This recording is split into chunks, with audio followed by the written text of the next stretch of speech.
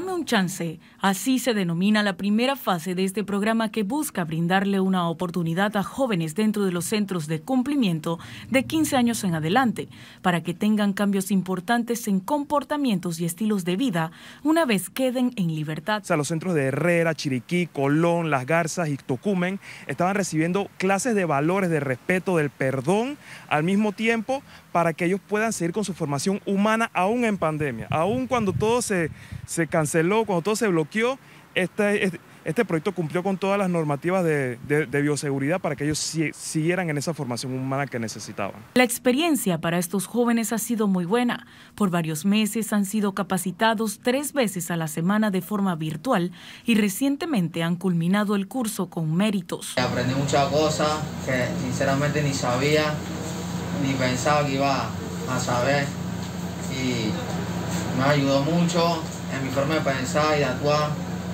y, bueno, me parece interesante. Me ayudó también a empezar la cosa antes, de hacerla, también me ayudó a que, a que todos podamos ser tratados por el, con el mismo derecho.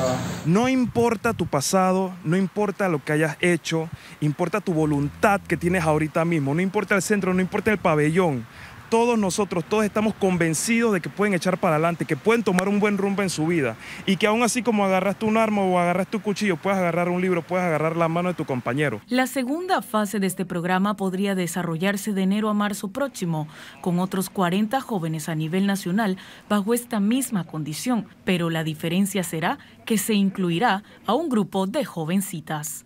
Jocelyn Mosquera, TVN Noticias.